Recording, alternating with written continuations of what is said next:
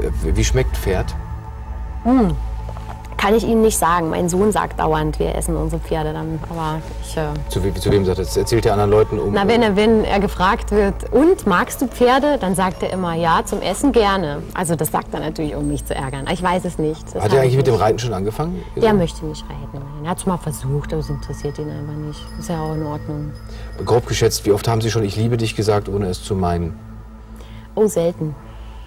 Tatsächlich, ja. Da warten Sie lange mit. Ich bin einfach, ich weiß gar nicht, manchmal sogar zu lange.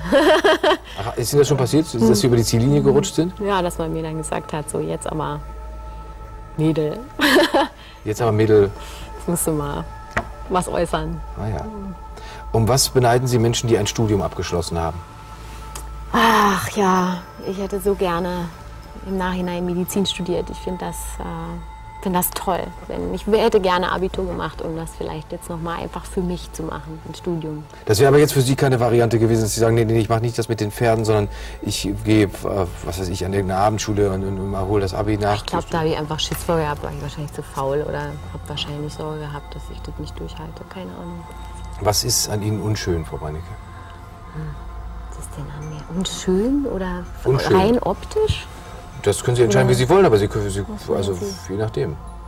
Na, ich bin wahnsinnig ungeduldig und wie gesagt, ich muss diese Leichtigkeit lernen im Leben, die fällt mir schwer. Also ich bin jemand, der sehr dramatisch immer ist und die Sachen immer manchmal zu ernst nimmt, zu große Moralvorstellungen hat vom Leben. Und rein, rein physisch? Was ist an mir unschön? Hm. Was müssen Sie beurteilen oder andere? Kann ich nicht. Okay. Welche ungünstige Eigenschaft haben Sie an Ihren Sohn genetisch weitergegeben? Ähm, ah, ich glaube, so einen kleinen Anflug von Jähzorn, wenn was nicht funktioniert. Also wenn Hausaufgaben einfach nicht, wenn man sich immer wieder verschreibt, dass man dann mal was in die Ecke pfeffert. Das macht er auch. Wie riechen Sie, wenn Sie aus dem Stall kommen? Nach Mist.